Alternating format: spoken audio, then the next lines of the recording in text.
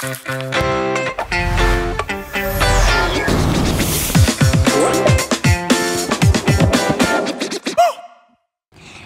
привет! В эфире программа «Дети большого толка». В каждом выпуске мы знакомим вас с интересными фактами. Мы узнаем много нового о природе, науке, технике и многом другом.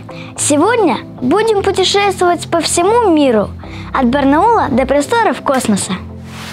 Все мы не раз измеряли температуру ртутным или электронным градусником. А кто изобрел термометр, вы знаете?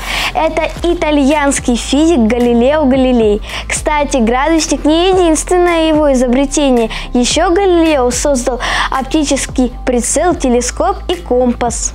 Сколько раз в день мы моргаем? Это легко можно посчитать. Здоровый человек моргает один раз в 2-3 секунды. Это значит 20-30 раз в минуту. В сутках 1440 минут. Перемножаем и получаем, что мы закрываем и открываем глаза 20-30 тысяч раз в сутки. Представляете, как много? Хорошо, что мы это делаем автоматически, иначе мы бы очень уставали осознанно моргать. Когда возраст человека достигает 19 лет и 4 дней, ему исполняется 10 миллионов минут. Неплохой повод отметить день рождения еще раз за год и попросить второй подарок. Конечно же, 10 миллионов, согласитесь, это солидный возраст. Что такое помидофиль? Это мечта всех дачников. Растение, на ветках которого растут помидоры, а вот его клубни – картофелины. Помидофиль – это не просто идея, а реально существующее растение-гибрид. Его получают путем прививки помидора на картофель. Пока еще получение этого сорта слишком дорого, но ученые считают, что со временем он станет весьма популярным. Знаете ли вы, что Байкал – самое древнее озеро в мире? Его возраст оценивается в 25-35 миллионов лет – это в несколько раз старше, чем большинство других озер, которые обычно живут не более 10-15 тысяч лет. Байкал является одним из самых популярных туристических направлений в России. Это озеро привлекает туристов своими живописными пейзажами, чистейшей водой и уникальной природой. При погружении под воду у человека замедляется сердечный ритм. Это происходит из-за нырятельного рефлекса – который помогает экономить кислород. Этот рефлекс помогает людям, когда они рыдают. Достаточно мыть лицо холодной водой, и у человека замедляется сердцебиение и начинает успокаиваться дыхание. Почему совы спят днем? Ночью они охотятся. Но почему они не могут охотиться днем? Все дело в том, что птицы, которые видят сову, начинают поднимать панику и нападать на сову. Представьте себе, на хищную, сильную и мощную птицу нападает много маленьких птичек. Тут не до охоты, поэтому совы охотятся исключительно ночью. Ведь в это время суток птички на них не нападут. Но это еще не все. Совы могут летать без шума, а еще и глазное яблоко вовсе не круглое. И после этого вы хотите сказать, что в этих птицах нет ничего интересного? Наши нос и уши у человека никогда не перестают расти. Правда, в детстве они растут быстро, а с возрастом замедляются. Но ваше лицо всегда будет понемногу меняться. Именно поэтому, чем старше, тем больше уши и нос. Правда ли волосы и ногти во время полета в самолете растут в два раза быстрее? Нет, это неправда, хотя этот факт часто пишут на познавательных сайтах. Да, существует такой распространенный миф, а все из-за гормона стресса – кортизола. Из-за него и правда ногти и волосы растут быстрее, но незначительно. Моржи кажутся людям очень ленивыми животными. Кажется, они только и делают, что валяются без дела, чтобы не тратить свой ценный жир в условиях холодов Арктики. Но это не совсем так. На самом деле моржи не спят по две недели подряд – все для того, чтобы давать выспаться сородичам из своей стаи. То есть одни моржи долго не спят, охраняя других от хищников, а потом они меняются и спят две недели. Почти 90% информации мы получаем из зрения, хотя чувств гораздо больше. Но увидеть для нас действительно лучше, чем услышать. Почему же так происходит? Информация играет важную роль в жизни человека, потому что именно она помогает нам ориентироваться в пространстве. Мы можем видеть мир в трех измерениях, различать цвета, формы и текстуры. Это большое счастье, есть чему радоваться. Хочется попробовать что-то необычное? Представьте себе, еще 2000 лет назад пищу стали употреблять растения. А знаете ли вы, какие цветы можно есть? На данный момент это фиалки, акация, первоцветы, а также бархатцы, лилейник, настурция. А еще съедобными считаются кактусы. Всего съедобных кактусов насчитывается три вида. Это апунция, гелоцериус, мамилярия. И съедобные у них только плоды. Иголки из таких плодов можно вытягивать только в резиновых толстых перчатках. Голыми руками доставать не рекомендуется. Также для этого потребуются щипцы и пинцет. А если вы еще не пробовали эти цветы, то самое время это сделать. Ведь уже практически все восточные страны, и не только, стали употреблять цветы в пищу. Может попробовать и вам? Знаете ли вы, что акулы боятся дельфинов? Это удивительно, но на самом деле так. Все потому, что дельфины крупные, маневренные и стайные животные.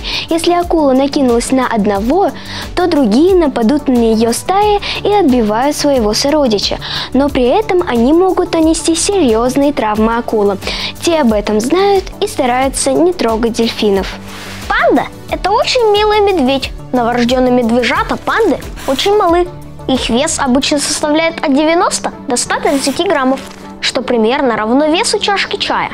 А вот взрослые панды весят от 100 до 150 килограммов, а значит вырастают в тысячу раз. Знаете ли вы, что медведь может обогнать лошадь? Удивительно, правда? Ведь медведь такой большой и неуклюжий, а лошадь длинноногая и создана специально для бега. Как же так получается? Все дело в том, что медведи и правда могут бегать с большой скоростью, но очень быстро выдыхаются, а лошадь пробежит еще долго. А вот по лесу и болоту медведя не догнать, тут он всегда чемпион. Почему медведя называют косолапым? Причин много, а все за особенности его походки. Когда медведь идет или бежит, он одновременно наступает обеими лапами, расположенными на одной стороне туловища, поэтому получается раскачивающаяся походка. Есть и еще одна причина, по которой Мишку называют косолапым. Они ставят лапы пятками наружу, а носками вовнутрь. Все потому, что медведи опираются сразу на всю стопу. Это позволяет им равномерно распределять вес тела и избегать травм, а еще ходить по болоту и не проваливаться. Хотя солнце кажется желтым или оранжевым, на самом деле оно ослепительно белое – Желтый цвет возникает в результате рассеивания солнечных лучей в атмосфере Земли. Теперь вы знаете, какого цвета вам нужен карандаш, чтобы нарисовать солнце. Синий кит – самое большое существо на Земле. Чтобы поддерживать свой размер, ему нужно очень много пищи. Он получает э, за один глоток полмиллиона калорий, столько же, сколько человек за 250 дней. Несмотря на то, что пасть синего кита настолько огромна, что может вместить 100 человек, кит не может проглотить ничего крупнее баскетбольного мяча. Все потому, что его горло слишком узкое. Так что все страхи, что в океане вас проглотит кит, не обоснованы. Хотя там и без этого есть чего бояться. На Южном полюсе Солнце восходит один раз в год, 21 сентября, поднимается выше и выше. После этого Солнце начинает опускаться ниже и ниже, пока не исчезнет за горизонтом, примерно 21 марта. Это происходит из-за наклона оси вращения Земли. Почти каждая космическая фотография изначально черно-белая и уже потом раскрашена учеными. Почему так происходит? Это связано с тем, что космические телескопы и другие приборы очень сложные. Они работают на невероятно далекие расстояния и регистрируют только интенсивность света, но не его цвет. Поэтому полученные фото нужно потом раскрашивать. От бурых мишек перейдем к белым. Полярные медведи тоже роют берлоги, но только в снегу. Причем обычно в них несколько комнат. Основная комната служит для сна и отдыха медведя. В ней медведь накапливает жир, который будет использовать в качестве источника энергии во время спячки. Остальные комнаты для детенышей и хранения добычи. Берлоги полярных медведей могут достигать в длину до 10 метров и в ширину до 5 метров. Они могут быть расположены на глубине до 5 метров. Спячка полярных медведей длится от 70 до 80 дней. Во время спячки медведь не ест и не пьет. Его сердцебиение и частота дыхания замедляются, а температура тела снижается. Это позволяет медведю экономить энергию и пережить суровую зимнюю погоду. Попробуйте угадать, какой язык в мире самый популярный. Конечно, тот, на котором говорят больше всего людей. А это китайский. На нем говорят и пишут более 1 миллиарда и 100 миллионов человек. Это примерно 16% населения мира. Китайский язык является официальным языком Китая, Тайваня, Сингапура и некоторых других стран. А вот на английском говорят всего 370 миллионов человек. Каждый человек может увидеть прошлое. Для этого нужно просто посмотреть на звезды. Например, свет от Солнца доходит до Земли за 8 минут. И чем дальше от нас находится звезда, тем глубже в прошлое мы смотрим. Например, свет от ближайшей к нам звезды Проксимы Центавра доходит до Земли за 4 года. И когда мы видим Проксиму Центавра, мы видим ее такой, какой она была 4 года назад. Кстати, узнать больше о космосе вы можете в Барнаульском планетарии. Это один из старейших планетариев в России. Он был открыт в 1950 году. Кстати, в нем есть солнечный телескоп. Этот телескоп позволяет наблюдать за Солнцем в дневное время. С его помощью можно увидеть солнечные пятна, солнечные факелы, протуберанцы и другие особенности солнечной поверхности. Кстати, если вы не знаете, что такое протуберанцы, то я сейчас расскажу. Представьте себе, что Солнце – это огромный огненный шар. На поверхности этого шара есть пятна и другие неровности. Иногда из них вырываются огромные фонтаны раскаленного газа. Вот эти фонтаны называют протуберанцами.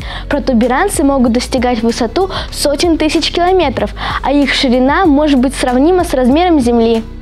Знаете ли вы, что Солнце тоже вращается вокруг своей оси? Это явление называется солнечной ротацией.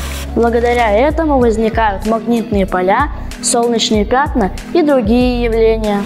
Земля – единственное место в Солнечной системе, где может гореть огонь. Это потому, что для горения нужен кислород, а на других планетах Солнечной системы его нет. Таким образом, можно сказать – что огонь – это уникальное явление, которое возможно только на Земле. Это связано с уникальным составом атмосферы Земли, в которой содержится кислород. Удивительно, каждую минуту Земля пролетает примерно 19 300 километров. Это очень большое расстояние. Поэтому, когда вы смотрите на секундную стрелку, помните, что Земля непрерывно движется в просторах космоса. Луна всегда обращена к Земле одной и той же стороной, другая скрыта от нас. Это происходит из-за гравитационного взаимодействия между Землей и Луной и оставляет тайные исследования для будущих космических миссий.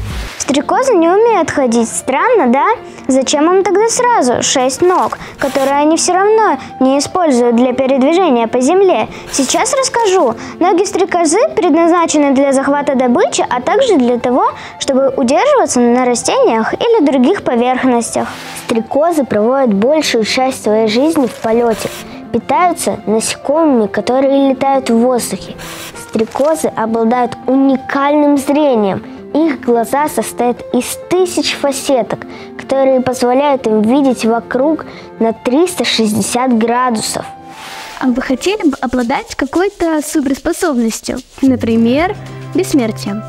А вы знали, что такие существа есть на нашей планете?